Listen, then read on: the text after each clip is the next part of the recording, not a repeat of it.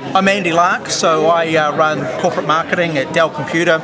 I'm responsible for all the communications effort, and then uh, our social media efforts, and then also Dell.com, which is the largest e-commerce site in the world. What do you do in the, in the social media space?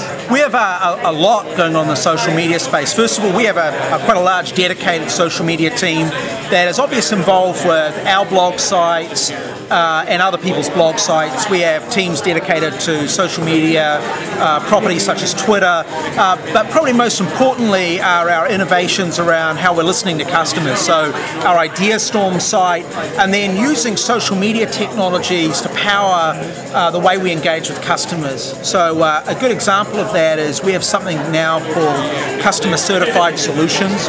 So that's where a customer goes in and sees another customer has a problem and maybe a message board and says, oh, here's what you do to fix that problem.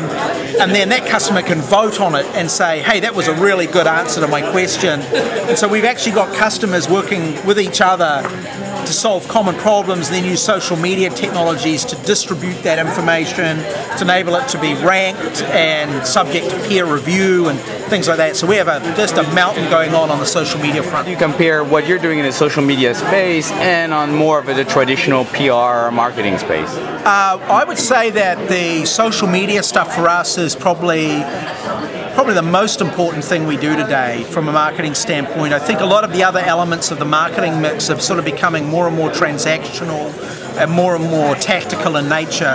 The social media stuff for us is much more strategic, and it's it's not just about you know blogging or wikis or RSS or any of that stuff. It's about how do you use listening and coalescing conversations that are going on to kind of inform everything you're doing, right? So whether it's product design, product innovation, whether it's customer service and support, how do you actually use social media to power the fundamentals of the business? That's what that's what we're focused on. So we, you know, for us, it's really it changes everything.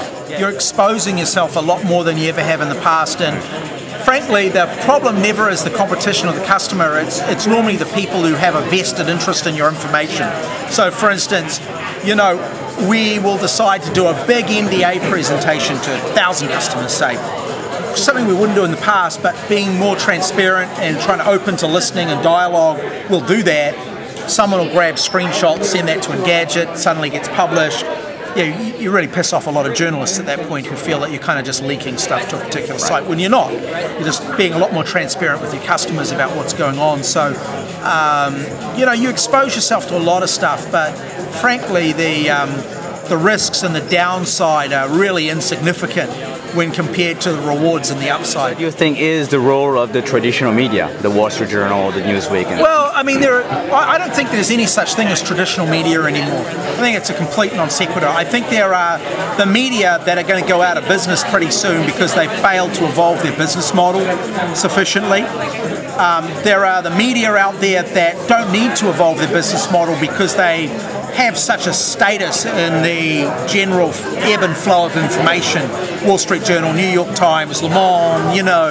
Um, but there are others out there who have no hope unless they be engage fully with the community, become more crowdsourced orientated, really um, really understand where the market's going. So I don't I don't really ever look at it as traditional media because I think that that notion was killed a while ago, and people are just there's a group out there that have failed to come to terms with it, but.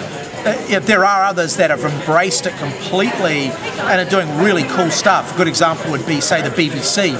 You know, um, I can't t- tell you the number of times I, I meet a BBC reporter and their first question is, Can I podcast this? You know, and versus say regional newspapers in the US who still they turn up with a notepad and they want to take notes. You know, and you're kind of like you just don't get it that that the content I'm giving you is the asset, not the translation of it. You know, so the uh, campaigns, either marketing or advertising, are going to go online for Dell versus. Oh yeah, we will be vectored. A, a, a, vast majority of our stuff will be online. The other interesting thing we're starting to test is using more crowdsourced content to power our ads. So a good example of that would be we hosted this large competition in Facebook. We thought it would be small, it turned out to be pretty large, where we used a really cool little application called Graffiti. And we asked people to draw what green meant to them. So if you go to regeneration.org or you go to the regeneration pages in Facebook, um, you'll see these really amazing drawings, and you hit pl- replay, you can replay the person drawing them. They're like really addictive. And um, we're now using all of that content in our digital ads. So rather than paying some agency to draw pretty pictures and take photos, we're using the content that our community is creating with us in our ads and you know so so the power of the social medium to change the production process even in advertising is really really substantial